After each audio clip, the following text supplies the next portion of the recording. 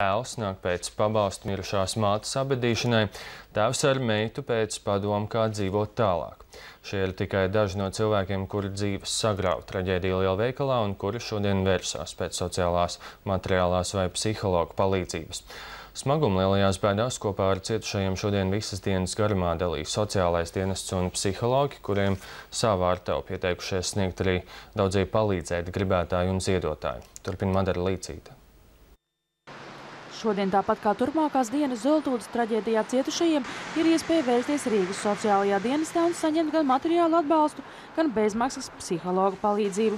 Dienestā strādājošie ir gatavi gan palīdzēt uz vietas savās telpās Bāznīcas ielā 1923, gan doties pie cietušajiem uz mājām. Visus dienas garumā pēc palīdzības cilvēki vērsušies gan paši personīgi, gan telefoniski. Visi darbinieki strādā nu, tādā pašā režīmā kā visas atbalstošās institūcijas ārkārtas.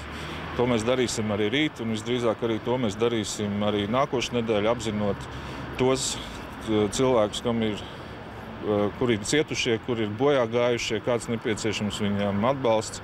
Galvenais uzsvars šobrīd tiek likts uz bērniem, protams, arī uz vientuļiem cilvēkiem, uz veciem cilvēkiem.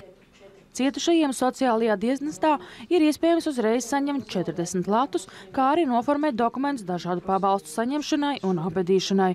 Visu diennakti ir iespējams saņemt arī psihologu palīdzību. Šo iespēju jau šodien izmantojuši arī vairākas ģimenes, kuru tuviniekus aprīja lielveikala drupas.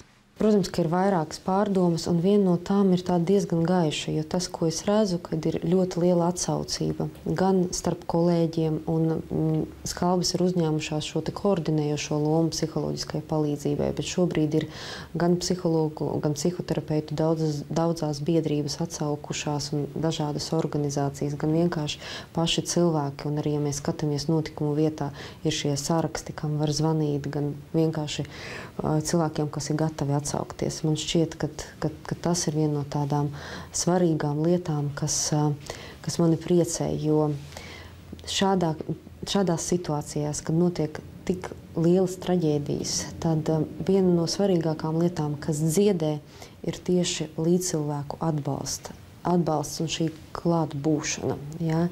Un tas arī uz ko es ceru, ka tas neizgaisīs tik ātri, jo, protams, kad ir cilvēki, kas varbūt šobrīd reaģē diezgan mierīgi un izskatās, ka viss ir kārtībā, bet patiesībā tās sāpes ir dziļi iekšā un viņiem vajadzēs to atbalstu pēc kaut kāda brīža.